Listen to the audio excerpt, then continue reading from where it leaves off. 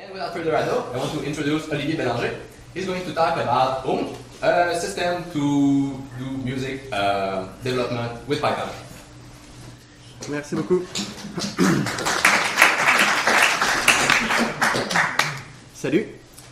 Donc, euh, Unk, en fait, c'est euh, deux choses. Euh, Premièrement, c'est une librairie euh, qui peut être utilisée de façon standard euh, avec Python euh, et indépendante, euh, qui sert à faire du scripting musical euh, ou du scripting audio et qui utilise C-Sound comme moteur, euh, comme moteur audio par en dessous.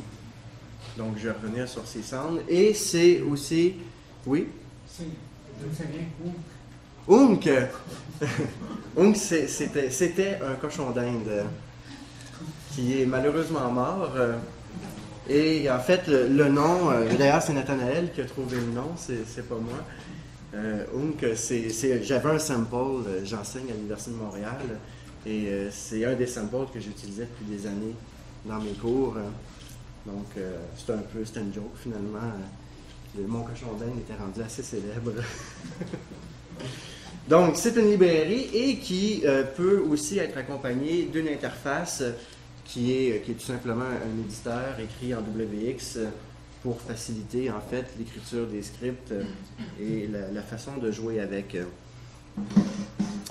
Alors, euh, pourquoi, euh, pourquoi j'ai fait Unk alors qu'il y, a, euh, y a euh, une panoplie de- d'environnements audio qui existent, donc c'est Sound, Max, Super Collider et compagnie, euh, qui fonctionnent tous très bien euh, pour euh, di- différents aspects. Euh, je connais très très bien C-Sound et euh, qui, C- C-Sound c'est un langage qui est mature, qui, est- complet, qui, sonne très très bien. Par contre, la syntaxe de C-Sound est extrêmement rébarbative. Euh, en fait, vieillotte. Donc, euh, je voulais, wow. je voulais une façon euh, d'écrire, d'écrire de la musique en ligne de code, mais avec un langage agréable, c'est-à-dire Python. Donc, est-ce que, est-ce que vous connaissez euh, un peu C-Sound euh, ou pas du tout? Donc, euh, il y a vraiment euh, peu de un peu. Alors, petit exemple rapide de, de ce colère C-Sound. Donc, C-Sound fonctionne avec une structure orchestre-partition. Donc, dans la section orchestre ici, on définit des instruments, tous les instruments qu'on veut utiliser. Et ensuite, dans le score, en bas, on envoie des appels de notes. Par exemple, ici, euh, I1, donc l'instrument 1, je lui demande une note. Donc, si on veut beaucoup de notes, ce qui est fort possible dans une, dans une pièce, ben, il faut écrire autant de lignes dans le score qu'on a besoin. Et euh, personnellement, je trouvais ça euh, drôlement pénible. Par contre, ça fonctionne très très bien. Alors l'idée, de Unk, c'était de faire une librairie qui n'était pas simplement un, un- port direct de tous les opcodes C-Sound qui existent, mais plutôt euh, de créer une librairie euh, qui, facilite, euh, qui facilite la vie. Donc en fait, ça s'adresse pas nécessairement à des, euh, à des programmeurs aguerris, ça s'adresse aussi à des gens qui commencent euh, et qui veulent pas trop se casser, se casser la tête pour écrire du son. Donc, souvent, une fonction de Unk va, euh, va écrire un, bon, un bon morceau de code C-Sound pour arriver à- au but ultime. Alors ici, euh, on va euh, d'ailleurs, euh, euh, Firefox est ouvert, donc euh, le, code source est hébergé sur euh, Google Code. Vous pouvez, euh, pouvez l'installer directement avec les sources, ce que je vous conseille d'ailleurs, euh, avec les, les- instructions sont ici. Et il y a aussi des binaires euh, pour, euh, pour Windows et OS 10 euh, qui commencent à dater un petit peu. D'ici la fin de l'été, il va y avoir des binaires plus à date. euh, mais de toute façon, comme vous aimez compiler vos trucs, vous allez y aller par les sources. Alors, ici, on va aller voir de quoi a l'air l'interface. Donc, c'est même pas le cochon d'Inde en plus, j'avais pas de photo du dit cochon. Donc, d'entrée de jeu, vous ouvrez l'interface et euh, si vous cliquez sur le bouton Run, vous entendez Feu Unk. Et donc, en fait, ça ouvre sur un script par défaut qui est probablement le script le plus simple qu'on peut, écrire avec Unk, donc qui fait jouer un son, et le son par défaut, c'est Unk.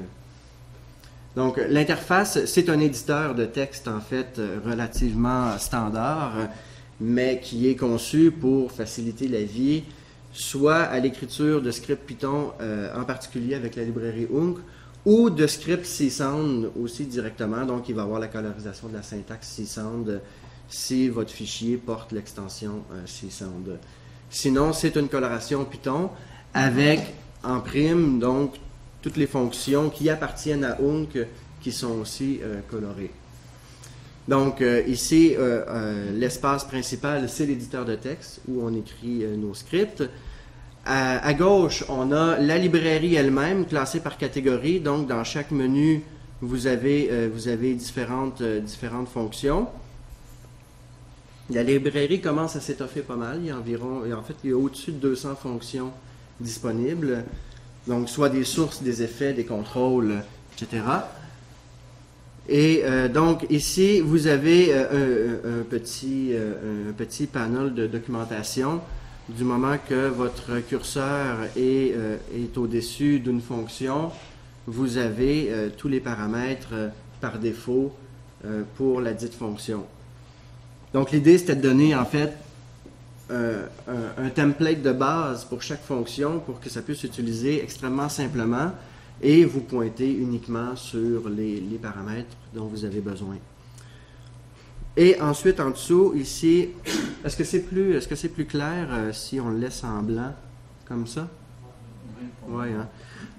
Et on va aussi, euh, on va augmenter un petit peu. Voilà. Donc, en, bas, on a un interpréteur tout à fait standard. Et quand on fait jouer un script, en fait, euh, toutes les commandes, toutes les lignes sont parsées directement à l'interpréteur. Ce qui est un, petit caprice, en fait, euh, je voulais éventuellement pouvoir interagir avec le script qui est en cours. Donc, pour peu qu'on a prévu les choses comme il faut, on peut lancer le script et venir modifier, euh, venir modifier des commandes directement par l'interpréteur. Alors, petit survol rapide de la librairie. Donc, il y a, a plusieurs groupes qui servent plus ou moins. Euh, les, plus importants donc sont les sources où vous avez euh, des générateurs de son, c'est-à-dire euh, par exemple PlaySound qui vous permet d'aller chercher n'importe quel son. si on va prendre un son quelconque, disons ici, il y a un autre classique et qu'on fait jouer. Ce qui va tuer le baseball majeur à Montréal, si un jour il doit mourir à Montréal, c'est le baseball majeur. N'est-ce pas? Il fallait qu'il y ait une certaine teneur philosophique quand même. Hein. Mais vous allez aussi avoir, vous allez aussi avoir des sons de synthèse, par exemple le traditionnel sinus. Et il y en a toutes sortes d'autres. Euh, ensuite, vous allez avoir différents effets, par exemple ici. Et euh, en fait, des effets, il y en a, je les ai euh, séparés parce qu'il y en avait trop. Donc, les filtres sont, sont dans leur classe à part. tout, ce qui est, tout ce qui est FFT se retrouve dans Spectral. Donc, il y a, il y a pas mal d'exploration à y avoir.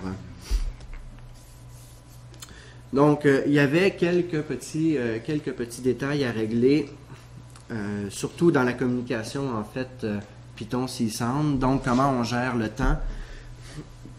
pour chaque fonction qui, soit qui génère du son ou des contrôles, donc qui s'étend, qui s'étend sur une certaine période, il y a toujours les paramètres start time et duration disponibles qui par défaut sont à 0 et non, c'est-à-dire que le son démarre au début de la performance, et tant que la durée est à non, on va chercher la durée globale du script qu'on peut spécifier avec set global duration, ce qui fait qu'on n'a pas à spécifier à chacune des fonctions et qui, nous, sauve, qui nous sauve de l'énergie. Ensuite, il y a la possibilité de jouer, de jouer à l'infini. Donc, si la durée est, est de moins 1, Tant que je n'appuie pas sur stop, donc le son va continuer à rouler. Dans le cas où on se construit par exemple un synthé MIDI, euh, on veut pas, on veut pas que le, script arrête nécessairement, donc on veut pouvoir taper sur le clavier n'importe quand et que ça continue à rouler. Donc euh, c'est la gestion de la durée. Un peu de la même façon, la durée du nombre de canaux euh, se fait avec une fonction qui s'appelle set channels. Et donc, euh, on peut l'appeler plusieurs fois et ça va changer donc le nombre de canaux. Chaque fonction va générer du signal en fonction du nombre de canaux. Donc, par défaut, on, par défaut, on est à 2. je pourrais dire 8 par exemple, et mon sinus euh, euh, pourrait être pané sur 8 canaux par exemple. Si je ne me trompe pas, on peut se rendre jusqu'à 64, qui est la limite, euh, qui est la limite de 600. Et donc, si, euh, si, vous, si vous avez un son octo, par exemple, sur votre machine, vous le faites jouer en octo. Si vous avez bien mis votre set channels 8, vous pouvez le passer dans un filtre et chacun des canaux va être filtré, donc euh, indépendamment. Et ensuite, donc, il y, a, il y a un autre concept assez important, c'est-à-dire le temps réel, le temps différé. Donc, présentement, euh, évidemment, comme j'ai pas de carte de son avec 8 sorties, euh, si ça on n'aimera pas, euh, en fait, on peut, l'enlever. présentement, si je fais run, le son est envoyé directement à la carte de son. Ce qui, dans ce cas-ci, me convient. Dans le, dans le cas où on travaille sur une pièce, c'est bien de pouvoir entendre instantanément ce qu'on fait. Éventuellement, on veut avoir un fichier son qui est le résultat de, notre travail. Donc, tout ce qu'on a à faire, à la fonction Start CSound, qui est pratiquement toujours la dernière fonction, donc celle qui écrit tout le fichier CSound par en dessous et qui lance CSound, on peut lui dire file euh, égale euh. Et là, euh, en fait, je vais enlever le moins 1 par contre. Je vais dire 10 secondes. Et là, si je fais run, j'entends plus rien. Le bouton est revenu à run, donc là, il calcule le plus vite qu'il peut. Euh, calculer un sinus, ça n'a pas été très, très difficile. Et euh, j'ai un, un merveilleux euh, fichier son qui est généré, euh, qui est généré dans le dossier des sons, qui s'appelle boo.if, qui est mon sinus de 10 secondes. Petite question? Oui, Je peux? Oui, en fait, d'ailleurs, dès, dès qu'il y a quelque chose de pas clair, euh, hésite pas, n'hésitez pas à m'arrêter, ça va être plus simple. lorsque il y a eu des exemples, il y a eu plein d'exemples de son, il y avait toujours une fabrication, testant, compilation, exécution à chaque, à chaque fois? Euh, ben, en fait, si ça en était lancé, tout simplement. Donc, euh, il y, a, il y a le fichier texte qui est construit. À chaque petit exemple a eu jusqu'à présent. Ouais, à chaque fois qu'on passe sur le bouton Run, le fichier texte est réécrit. Donc, tout le fichier C-Sound. Ok. Ouais, écrire du texte, c'est pas, euh, pas une grosse job. hein. Sound, Oui, donc en fait, C-Sound, lui, s'attend donc un fichier du même type, euh, type qu'on avait ici, qui est généré automatiquement, donc qui est un peu plus complexe qu'un script C-Sound normal, parce que je voulais, je voulais, euh, je gérer toutes sortes de situations d'un coup. Donc oui, à chaque fois, il y a un fichier qui est écrit, C-Sound est lancé avec le dit fichier. Donc, dans ce cas-ci, c'est pas, pas tellement pertinent. Dans un cas où, euh, où on veut, euh, on, travaille sur une pièce et ce qu'on demande à la machine, c'est rendu trop difficile à faire en temps réel. Là, il faut, avoir une façon donc de ne pas être limité par le processeur et de pouvoir tout simplement compiler le son. D'ailleurs, j'ai fait toute ma musique de, doctorat avec, euh, avec euh, puis des, des pièces de 5 minutes prenaient une heure, une heure et demie à compiler. Sauf qu'il n'y avait aucun sacrifice sur la qualité. La qualité restait très très bonne. J'avais juste le temps d'aller prendre une douche avant de, avant de pouvoir entendre. Le sujet de la thèse, c'était composition musicale? Ouais, en fait, moi je viens d'un département de composition. J'ai étudié à l'Université de Montréal en composition électroacoustique. euh, Mais j'ai inclus Unk dans ma thèse parce que j'ai passé tellement de temps qu'il fallait que je, le justifie d'une façon ou d'une autre. Mais j'avais, mon 45 minutes de musique à faire quand même. Donc, en fait, ici, on peut même, euh, juste pour vous montrer, euh, si, euh, si je viens. donc, disons que je prends que je prends modulo ici euh, et que je le mets même en, basse résolution, c'est-à-dire avec un sampling rate de 22 kHz. Si je ne me trompe pas, il n'est pas, pas capable de le jouer en temps réel. Donc, là, c'est C-Sound qui ne réussit pas à fournir les, les chunks d'audio assez rapidement. Donc, ça, ça saccade. Mais du moment où euh, je lui donne, euh, ben, en fait, j'ai juste à me mettre à high. Donc, quand je me mets à high, si je le fais jouer, là, on pourrait attendre une heure et on aurait le fichier son, le fichier son qui est, euh, qui est propre et sans bavure. Et là, on devrait avoir, on devrait avoir eu euh, deux secondes, trois secondes peut-être. Donc, sans saccade. Donc ça, c'est un environnement qui, du moins, moi, me convenait pour travailler. Donc, euh, tout le long de mon travail, je pouvais... En fait, d'ailleurs, le- le- ces pièces-là, je les ai terminées sur, euh, sur un Mac Pro parce que ça prenait... euh, Sur un processeur de, de, de 3 gigs, ça marchait encore à 22 kHz. Quand je me mets à high, par exemple, ma pièce est générée à 48 kHz en 24 bits. Donc, évidemment, j'en demande beaucoup plus à C-Sound. Il prend son temps pour le faire, ça marche, ça marche très bien.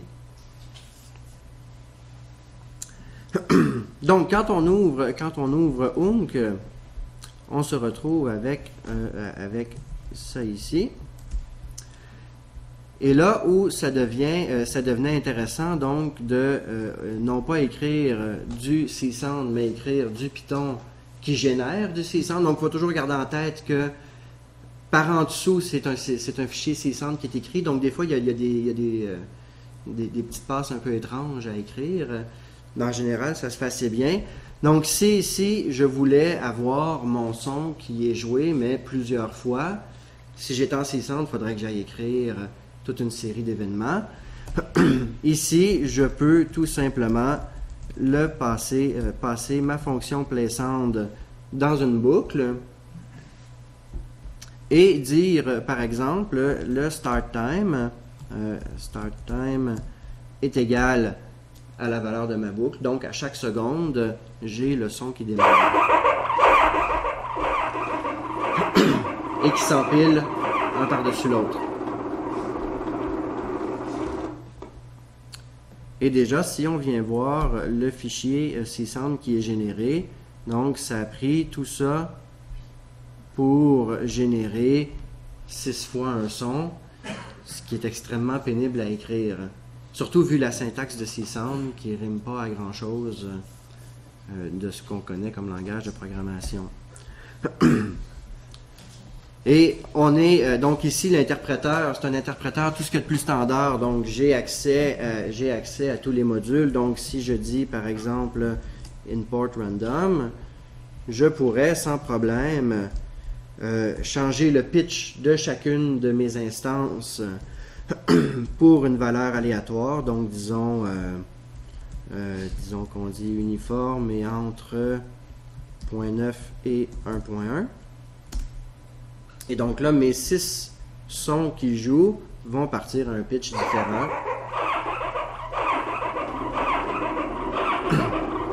Et ça va être différent, évidemment, à chaque fois que je le relance. Donc, quand, quand je clique Run, tout mon fichier est envoyé à l'interpréteur ligne par ligne. Donc, ça recommence. Là, les randoms seront forcément pas les mêmes. hein.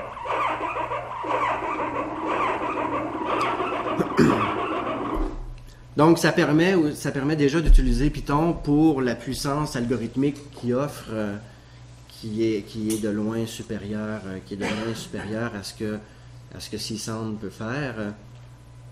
Et d'ailleurs, euh, pour avoir fait énormément de max euh, euh, dans les, dans les euh, 15 dernières années, je suis arrivé à des trucs beaucoup plus complexes et bien beaucoup plus facilement en Python qu'en max, euh, un point de vue algorithmique. euh.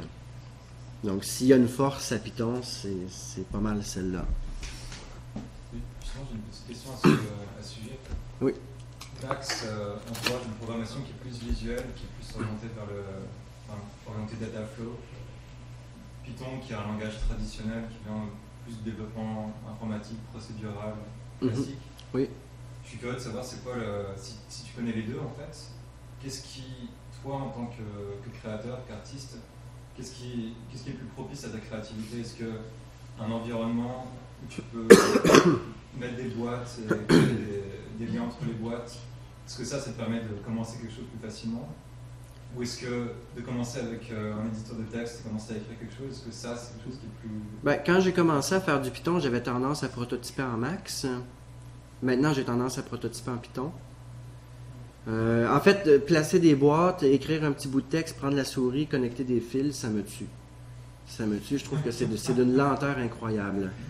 Puis plus ça devient compliqué, évidemment, plus, plus ça, devient pénible de s'y retrouver. Donc, ceci étant dit, j'aime Max quand même, ça fonctionne très bien. Mais euh, pour ce que je fais, moi, le type de composition que je fais, qui, sont euh, principalement algorithmiques, je trouve que euh, Python est beaucoup plus clair que Max. Évidemment, pour faire du temps réel, si, vous avez un flûtiste qui joue puis vous voulez juste maganer son son, ben, Max reste quand même Max reste quand même pas mal en haut de, en haut tout le monde. là. Ça répond à ta question? Non, merci.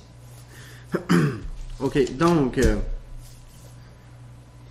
euh, on, a, un- on a un petit exemple relativement simple ici. Si je voulais lancer, euh, euh, j'ai utilisé ma boucle pour changer le start time, donc pour qu'on entende les six, les six sons qui démarrent. Si j'avais voulu simplement créer un chorus, euh, j'aurais pu utiliser en fait non pas une boucle ici, mais euh, une liste comme paramètre. Donc, pratiquement tous les paramètres, sauf le out sur lequel je vais revenir, peuvent prendre une liste en paramètres et Ung va générer autant d'instances que nécessaire pour euh, donner, donner le, résultat. Donc, si ici, à la, euh, à la variable pitch, je lui avais dit, disons, euh, 0.5, 1, 1.5 et 2, donc j'ai quatre valeurs, Ung va me générer quatre fois la lecture du son avec chacun des pitchs qui sont ici euh, répartis sur mes lectures. Donc, ce qui permet d'écrire du code beaucoup plus compact euh, euh, que, de, tout faire à la mitaine. Et une chose qui est, agréable avec les listes, en fait, c'est qu'on on- on peut donner des listes de longueurs différentes aux différents paramètres et la fonction prend la plus grande liste pour générer le nombre d'instances et on boucle dans les autres pour combler les trous. Donc, si je donne par exemple en panne 0 et 1, qui sont les deux extrêmes, ma première, lecture à, à 0.5 de pitch va utiliser 0, la deuxième va utiliser 1, la troisième va utiliser 0, la quatrième va utiliser 1. Et je peux répartir, je peux répartir mon signal. Donc, je pourrais avoir plusieurs paramètres qui ont des listes avec toutes des longueurs différentes. Et là, ça crée des croisements qui sont, qui sont assez, euh, qui sont inédits un par rapport à l'autre. Ce qui, euh, ce qui peut être très pratique. Donc, euh, il y a, maintenant, il y a une autre chose pour ceux qui ne sont pas nécessairement ferrés en, en- processing de l'audio. Tous les environnements ont toujours euh, une boucle qui est la boucle audio, donc le sampling rate. Dans ce cas-ci, le son sort 44 100 fois par seconde. Et un taux de contrôle qui est généralement un petit peu plus lent et qui permet donc de modifier des paramètres dans le temps sans que ça coûte trop cher en CPU. Donc, si Sound ne fait pas exception à la règle, et dans le cas de Hunk, donc on peut utiliser, euh, je pourrais, en fait, on va, on va prendre, on va prendre un exemple pour ça. Dans la librairie qui est ici, le dernier dossier, euh, à l'époque où il n'y avait pas vraiment de manuel, j'avais essayé de faire un dossier d'exemple un peu sous format tutoriel pour, euh, simplifier la, la vie de ceux qui s'y mettaient. Et donc, si on prend le premier et qu'on regarde, donc c'est tout simplement un générateur de sinus. Donc, l'exemple 3 ici, c'est euh, l'utilisation des listes. Donc, qui nous donne un accord. Et l'exemple 4 ici, on voit il y a une fonction randomash euh, qui est un random, donc qui change, euh, c'est un random avec un sample and hold, qui change à une fréquence donnée. Et j'ai été, donc je l'ai envoyé sur un boss qui s'appelle Pit. Et Pit, c'est euh, complètement, euh, c'est un choix personnel en fait, ça peut être absolument n'importe quoi. Et tout ce qui est, euh, tout ce qui est euh, part d'un paramètre boss, d'une fonction de contrôle, peut être utilisé sur un paramètre dans sa version var. Donc ici, pitch var, c'est une ouverture sur un canal de contrôle qui va venir multiplier ma valeur de pitch. Donc dans ce cas-ci, j'ai mon accord et chacune des notes va être multipliée par le random qui envoie sur le canal pit. euh, Et chaque note va être multipliée par cette valeur-là, puisque ici j'ai une seule valeur. Donc, j'ai pas, pas envoyé plus d'une valeur dans une liste. Alors, toutes mes, toutes mes sinus vont utiliser le, le même random. Ça irait mieux si je faisais jouer le bon exemple. Donc, la vitesse c'est 2 Hz. Donc, deux fois par seconde, je pige une nouvelle valeur qui vient multiplier mes fréquences. Et là où ça peut devenir, euh, ça peut devenir puissant, c'est en donnant une liste à euh, mon boss du random. Dans ce cas-ci, une liste de trois valeurs. Je vais générer trois randoms indépendants, chacun avec leur propre vitesse, puisque je passe une liste aussi au paramètre rate. Et cette liste-là, je l'envoie dans mon pitch var. Et donc là, chacune de mes valeurs ici va être multipliée par son random propre. Et ça nous donne ceci.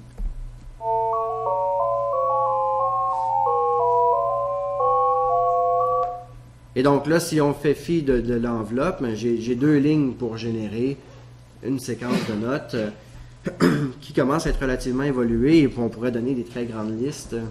Oui. Ça, du coup, ça, ça te génère un seul fichier euh, 600 euh, Oui. ou c'est lu interactif? Non, c'est quand je- quand j'ai fait run ici, mon fichier, il t'a créé Il a changé.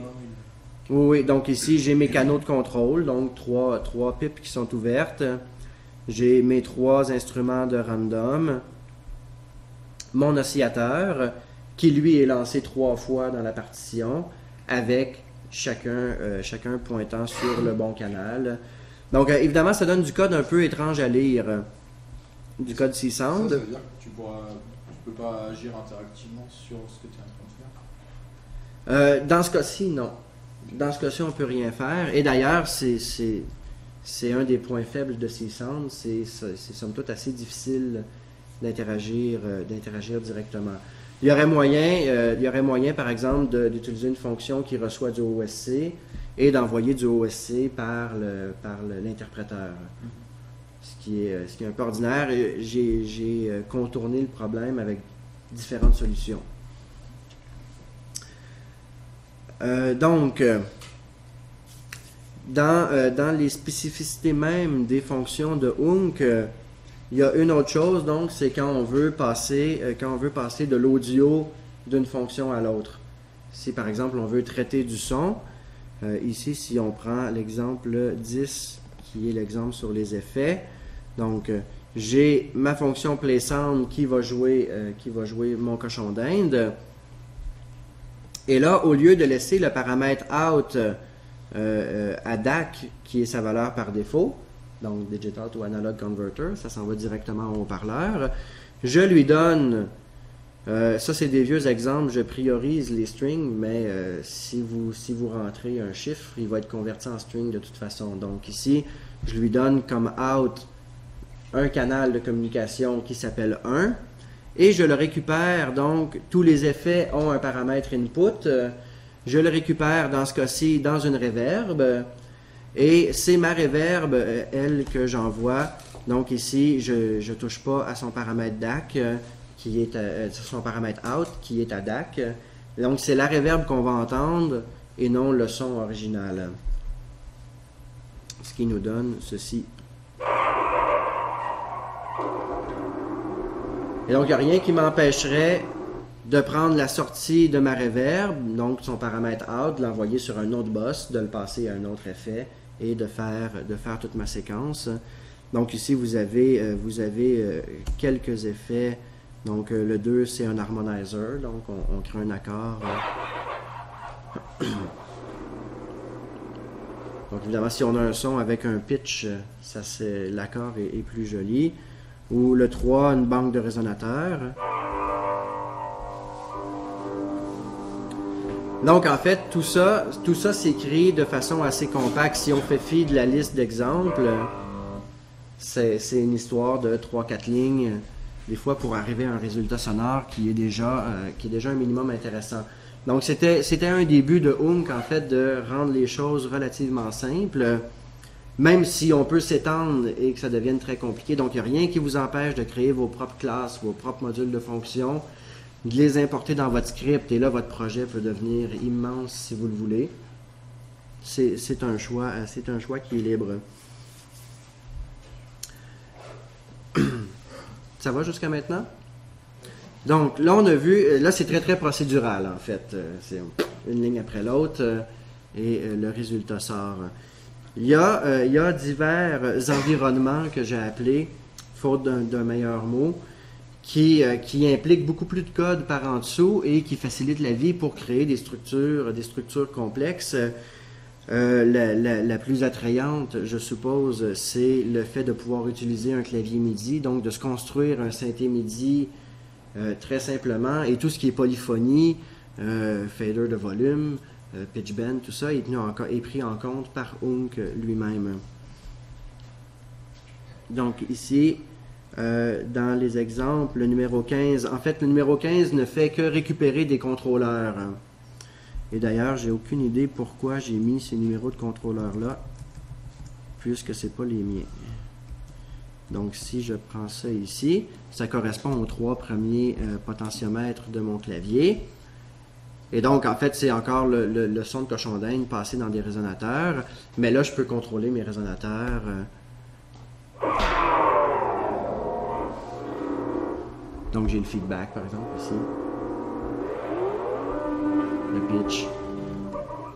Le filtre.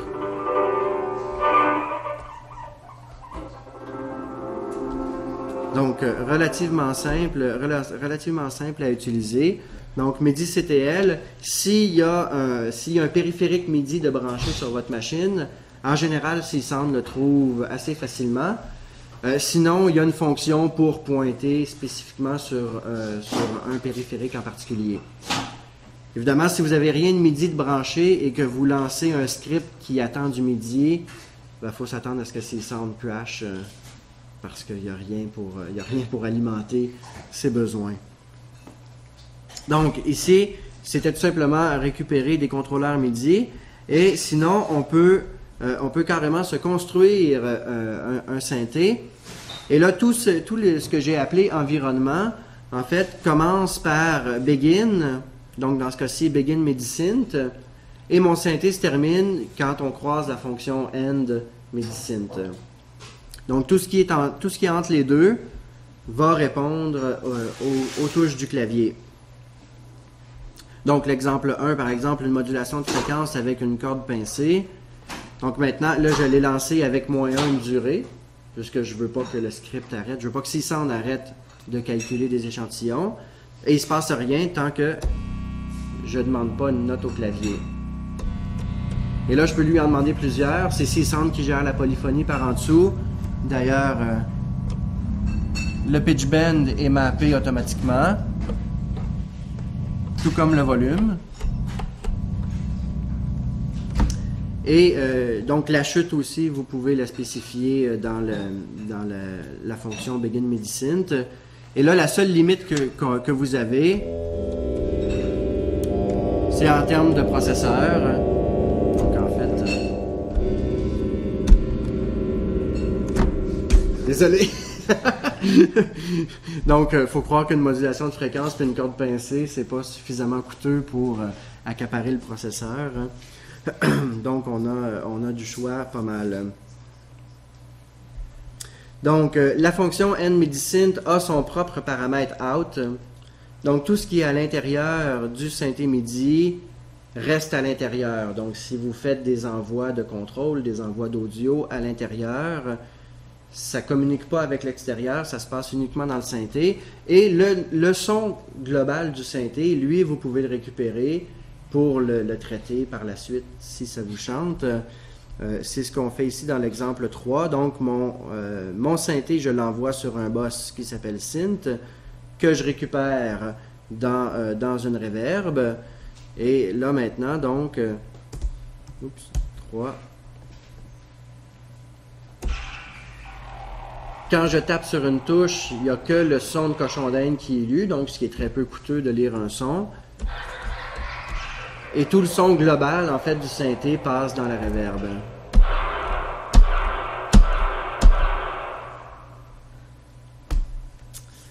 Euh, Qu'est-ce que... Ah oui, il y, a, toutes sortes de features, en fait, sur les synthés MIDI. Par exemple, ici, l'exemple 17, euh, on peut splitter le keyboard en différentes régions et assigner différents processus. Donc euh, ici, non pas ça, ça. J'ai mon Begin Synth. À l'intérieur, j'ai un split keyboard où je lui donne un range de notes, donc de 0 à 59. Tout ce qui vient jusqu'au prochain split keyboard va répondre aux notes qui sont dans ce, dans ce registre-là. Et ensuite, euh, j'ai une autre fonction split keyboard qui définit en fait le reste du clavier. Et j'ai un autre processus qui va répondre à ces notes-là. Donc ici, et là. Donc là, ici, je suis au-dessus de la note 60. Et ici, je suis en dessous. Et un plus. Voilà.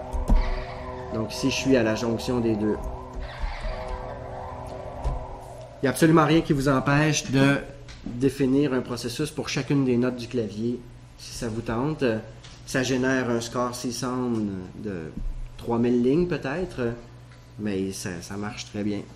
Donc, euh, pourquoi s'en priver? Et il y a la même chose donc sur la vélocité. Euh, on peut splitter la vélocité, mais je vais essayer d'aller un petit peu plus vite. Donc, on va quitter le midi. Oh non. Parce que j'en ai beaucoup. donc, en fait, ici, euh, c'est vrai, vous pouvez ouvrir, ouvrir plusieurs scripts en même temps. Et vous pouvez aussi en faire jouer plusieurs. Donc, par exemple, ici, j'ai mon Untitled qui joue plusieurs fois un son.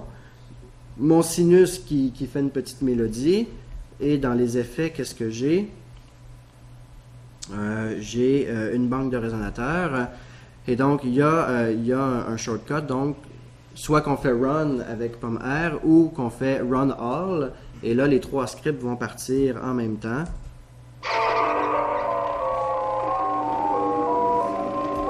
Et on peut les arrêter en même temps aussi.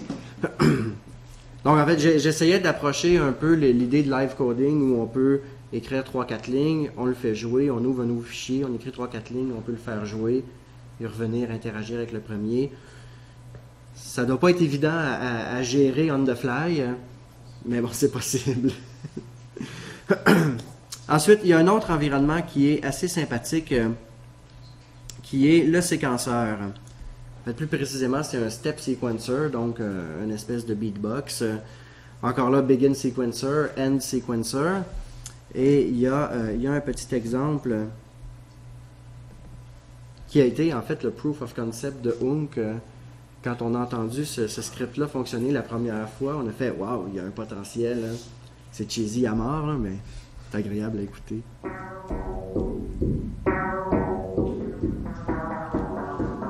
Donc ici, j'ai défini des tables de rythme, des tables de pitch, et c'est le séquenceur lui-même qui boucle, donc qui avance d'une valeur à l'autre et qui revient.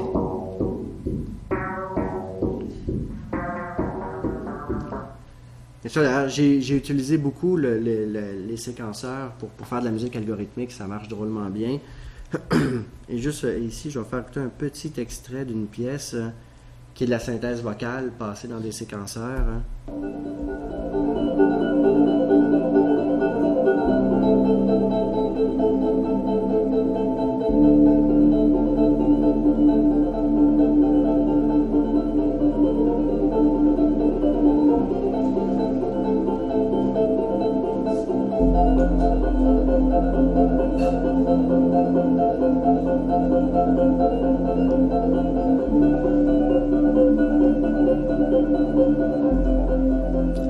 Donc c'est pas pas extrêmement compliqué de gérer le moment où on change de table de fréquence, le moment où on change les tables de rythme.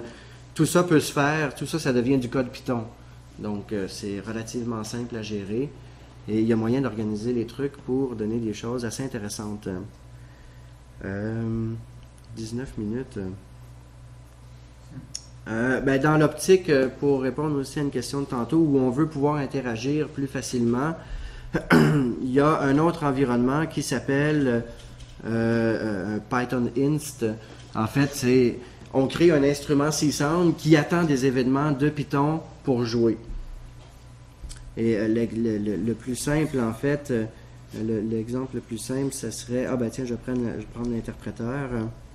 Donc ici, j'ai Begin Python Inst et End Python Inst. Et entre les deux, tout ce que j'ai mis, c'est un sound font, donc un son de piano qui est sonne pas très bien d'ailleurs, mais je voulais pas que ça pèse lourd euh, dans les sources.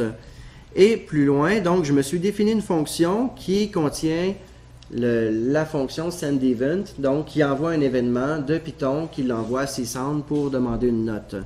Et cette fonction-là ici, elle est appelée par une horloge euh, qui est un objet créé avec pattern. On lui donne un tempo, une rythmique euh, et la fonction qu'on veut appeler. Et cette fonction-là est appelée donc de façon périodique par l'horloge pour envoyer des notes. Et dans ce cas-ci, euh, ma fonction, euh, en fait, euh, mon horloge ici utilise une variable qui s'appelle tempo. Et elle, maintenant, j'ai le droit d'aller la changer. j'ai le droit d'aller la changer dans l'interpréteur, tout comme les deux facteurs de transposition. Donc, si je lance le script,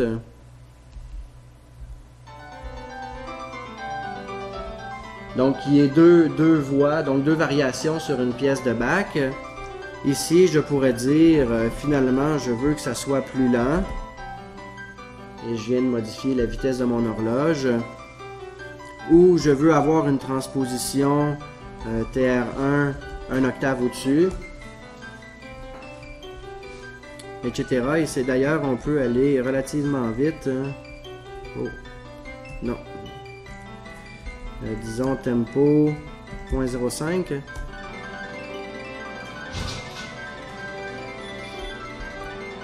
Et là, ici, ça, c'est l'horloge. C'est une horloge Python qui roule. Donc, le timing est. euh, si vous utilisez le step sequencer, c'est C-Sound qui gère le temps.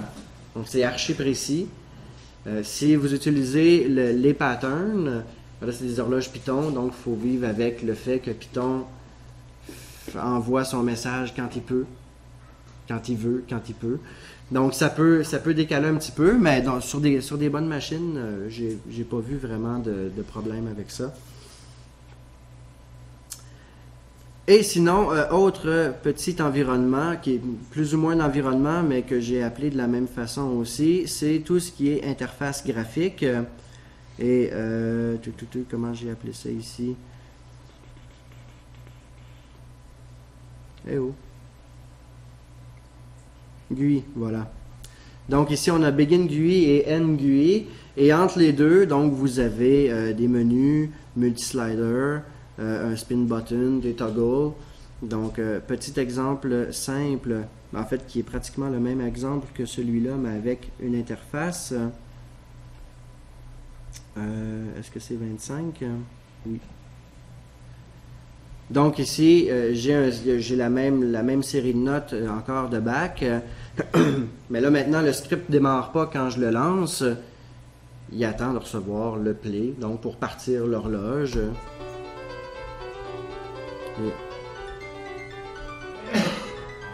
J'ai mes deux facteurs de transposition et mon tempo.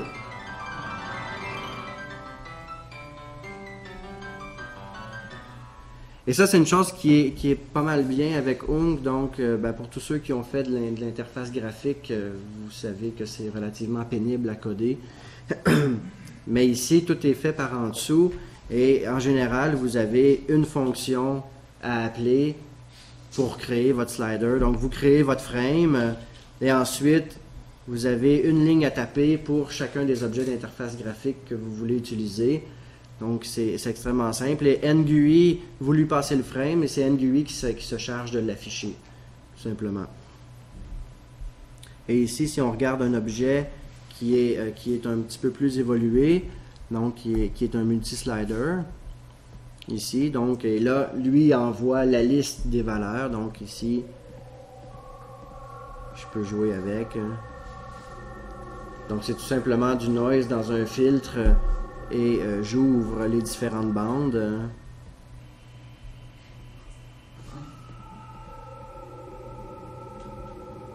Qui marche, qui marche plutôt bien. Il faut juste que je règle le cas des, des trous qui se créent quand on glisse trop vite.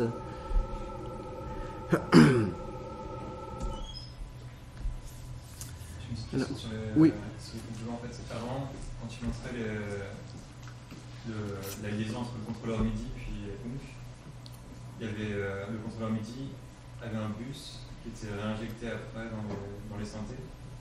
C'était ça? Euh, ben, en fait, euh, quand on définit. Dans le cas des contrôleurs, oui, il y a une fonction qui reçoit des contrôleurs qu'on affecte à, à- à un bus, un, un boss, et ça s'en va où on veut ensuite. Est-ce que c'est est-ce que tu peux faire la même chose avec les composants d'interface? Par exemple, avoir une partie de tes contrôleurs qui sont graphiques, une partie qui sont physiques Ah ben oui, on peut, on peut mixer tout ce qu'on veut. là. On peut, on peut faire un synthé MIDI, et il y a une partie des contrôles du synthé qui se fait avec une interface graphique si on veut. Donc c'est les mêmes entités finalement, que ce soit Oui, ou- ben, en fait, dans le cas de, dans le cas de l'interface graphique euh, qui, est, euh, qui est ici, euh, ça envoie. ah ben, dans, le cas du, dans le cas du filtre, c'est moins, c'est moins évident. Mais si on regarde, et ça c'est du Python aussi. Donc, bon, dans ce cas-ci, c'est du Python, donc il ne se passe pas grand-chose. Mais il y a la gestion du OSC qui est implémentée dans les deux sens. Donc, l'interface graphique en général, est-ce que j'en ai une? Euh, euh, où es-tu?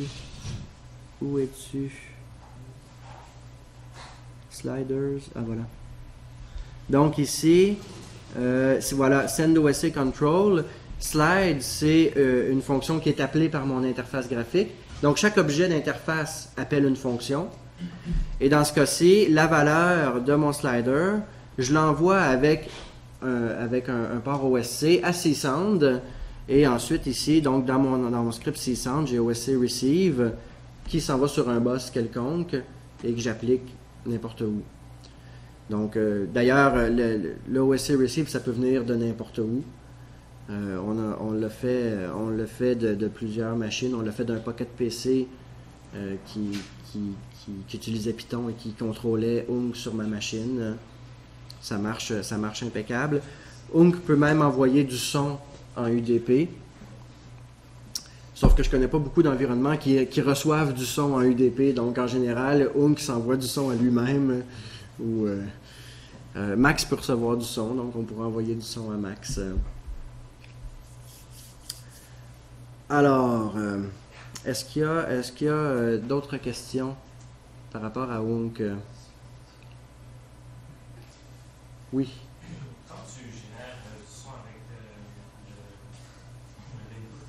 Oui.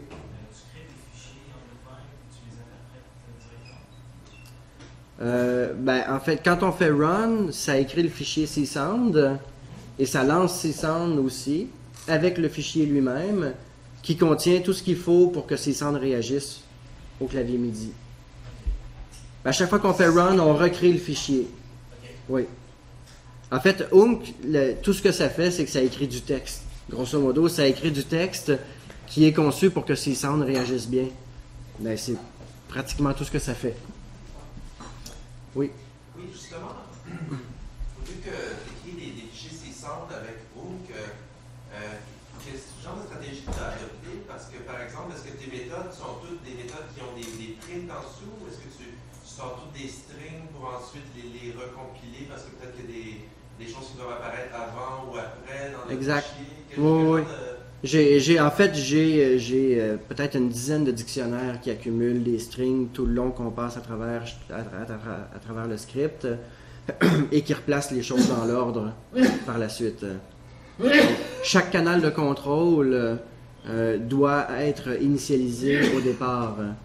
Donc moi j'accumule les, les- j'accumule tout le texte, j'accumule le nombre de canaux que j'ai besoin, puis ça, ça va s'écrire en premier. Donc c'est ouais, de la gestion de string. Et puis, euh, c'est ça, alors en Python, c'est des, est-ce que tu utilises des listes et puis tu fais des joins à la fin ou que tu. euh, Euh, ben, je fais pas vraiment des joins. En fait, j'écris ligne par ligne dans un fichier texte. Ouais. Donc, euh, euh, là, on a perdu le, on a perdu le compteur. euh. Ça prend le password. Donc, en fait, il, il- il me resterait deux choses. J'avais pensé vous faire jouer une pièce qui a été construite entièrement, euh, entièrement dans Unk euh, et qui dure, qui dure cinq minutes, donc on, on a le temps. Et il y a une autre petite chose que je voudrais vous parler après. Donc voilà. Ici, ça fait ça, ça fait cinq minutes, je crois. Oui. Donc ça, c'est un script Unk. euh, ben, c'est celui que j'ai essayé de lancer tantôt puis qui s'est mis à, crachoter parce que c'est trop lourd. mais c'est la version générée. Donc, euh, et euh, j'ai pas retouché après. Donc, euh, en général, j'essaie de faire en sorte que ce qui sort de ces sound, c'est le produit fini. Mais ça, c'est un peu parce que je suis têteux. Ça, vous n'êtes pas obligé de faire ça, mais j'aime bien, j'aime bien que mon script vive tout seul. Il y a une petite question, je sais pas, c'est- c'est loin de Python, mais j'aimerais ça que tu me parles un peu du processus de composition. C'est-à-dire Ok. de quelle manière, euh, de quelle manière tu, tu organises. Ok, ben oui, je peux, je peux vous montrer les stratégies euh, tout de suite après. C'est, un ouais. petit peu comment tu c'est ça. Ok. Donc, je vous fais jouer ça 5 minutes.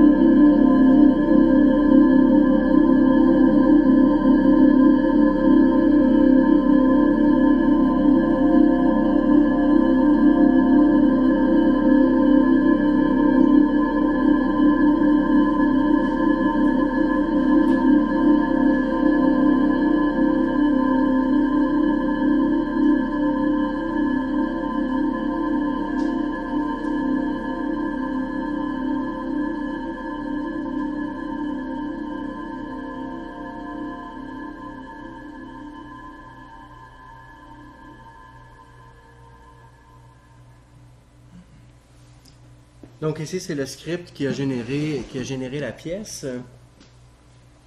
Et le genre de stratégie que j'ai utilisé avec Unk, j'ai euh, j'ai mes variables, donc au départ, qui déterminent de quelle façon je veux travailler. Donc la résolution, j'ai le choix entre low et high. Et un peu partout dans le code, j'ai une condition. Donc si je suis à low, je baisse le sampling rate pour euh, décharger un peu le processeur. En général, je vais aussi, euh, je vais aussi changer le type de reverb. Voilà ici.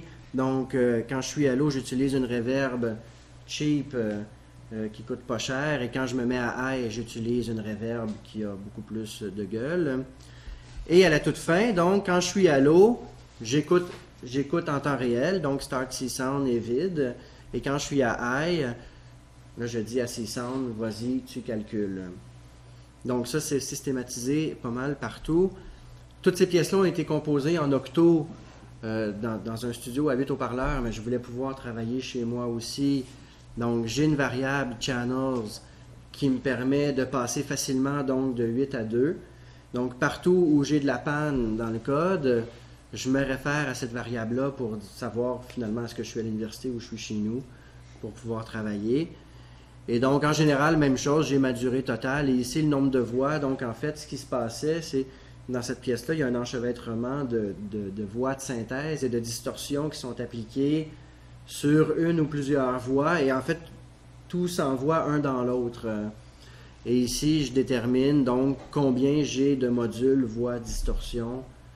Euh, donc, je pourrais essayer la même pièce avec euh, 40, euh, 40 voix, 40 distorsions probablement que ça donnerait de la bouillie puis que ce serait moins intéressant.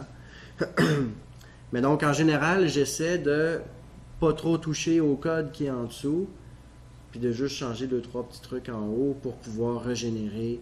Et il y a beaucoup, il y a- en fait, le import random est partout dans mes scripts, donc a- je laisse beaucoup de place à l'aléatoire en fait quand, quand, quand je compose ma musique. euh. Euh, du coup, est-ce que tu publies ta musique en GPL Ben, en fait, présentement, euh, ma musique existe pas mal juste sur cette machine-là. Euh, en fait, je pensais la streamer sur le net éventuellement. Mais genre d'activité qui me, qui me fascine pas. Il y a une code source. euh, Ah, oui, je pourrais envoyer le code source, pourquoi pas. Ben, éventuellement, en fait, mon idée, d'ailleurs, sur le, sur le site de Google Code, j'aimerais bien éventuellement, si, en fait, si ça démarre, puis il y a beaucoup de monde, quoique là, il y avait environ 300 downloads, qui commence à être pas si mal. Mais si ça démarre, ce serait le fun qu'il y ait une banque, en fait, une banque de scripts qui existe quelque part où euh, n'importe qui peut se référer pour euh, avoir des exemples de, de, type de processus. euh. Est-ce que, est-ce que j'ai 4 minutes encore? Donc, euh, je voulais juste. Il y, a, il y a un petit truc, c'est que là, présentement, on est dans le dans Unk lui-même. euh, à 5,44, c'était bon. Donc, on est dans l'environnement graphique de Unk, mais Unk s'utilise très bien euh, en tant que librairie. Donc, dans le code source, il y a un script, il, y a, il y a un setup.py, donc où vous pouvez installer la librairie directement dans les, dans les sources de Python. Et ça fait en sorte que dans n'importe quel projet, ça devient très facile donc d'importer la librairie, d'avoir un petit bout de code qui réagit à votre programme quelconque. Euh, Et si CSON est installé sur la machine, ça fonctionne très bien. Et j'ai commencé à l'utiliser, euh, à l'utiliser de cette façon-là. Euh, j'ai fait, j'ai fait un logiciel qui s'appelle SoundGrain ici, qui donc est, une application compilée avec, avec Py, PyHap, euh, Py2Hap. Et en compilant l'application, donc Unk est inclus directement dans le dans le- le- l'exécutable. donc il ne reste qu'à installer CSON et ça fonctionne. Et ici, euh, c'est un, autre, un autre bidule fait en, Python avec WX. Et en fait, euh, j'explorais le, le dessin, le dessin de trajectoire. hein. Alors ici, euh, par exemple, ben, en fait, je vais charger un son.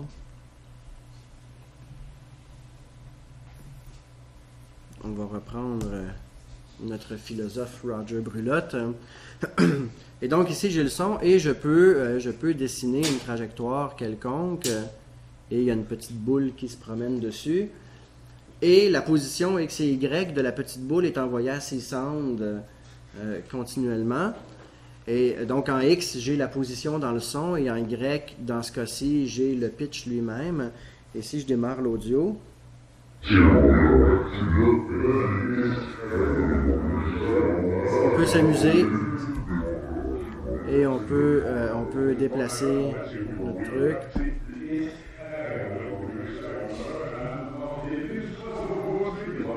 Par exemple, on peut dupliquer. Et bon, l'idée c'était juste de démontrer que on peut utiliser. En fait, le code UNC dans, dans cette histoire-là, ça fait peut-être. C'est un fichier de 100 lignes, peut-être maximum. Tout le reste, c'est- la, la gestion de trajectoire. Et il y a différents types. Donc, on peut. On a, on a un truc qui oscille. euh, comment on, comment on délite donc? Voilà. Ou il y a le cercle.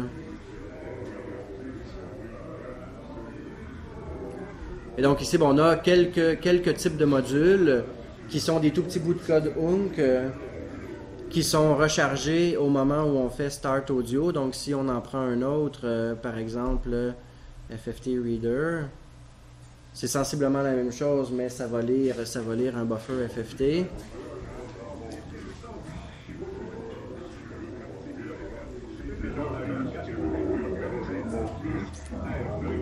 Donc voilà, ben, tout ça pour dire que euh, c'est relativement simple d'utiliser Oom pour construire une application qui génère du son sans avoir à réécrire euh, tout ce qui a été écrit pour le son. Donc, euh, comme C-Sound se lance en ligne de commande, en fait, C-Sound, il- c'est pas, un, pas un, logiciel avec une interface graphique, euh, c'est juste un logiciel en ligne de commande. Ça devient extrêmement simple de l'intégrer à n'importe quel projet. D'ailleurs, SoundGrain est aussi sur Google Code si ça vous intéresse. Euh, ici, SoundGrain. hein. Donc, il est disponible. euh, Pour l'instant, si je ne me trompe pas, il n'y a que le binaire, euh, il y a que le binaire OS 10, euh, mais les sources fonctionnent sur Windows et Linux sans problème. Ben Alors voilà, c'est tout pour moi. Merci Olivier.